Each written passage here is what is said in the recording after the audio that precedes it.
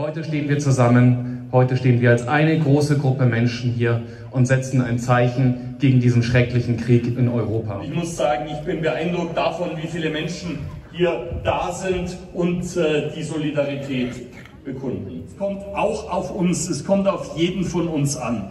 Bilder machen Politik. Diese und andere Freiheiten, die Ausdruck der Demokratie und Solidarität sind, gilt es mit Leben zu erfüllen, damit sie weitergetragen werden. Ein Krieg schafft nur Leid und Not.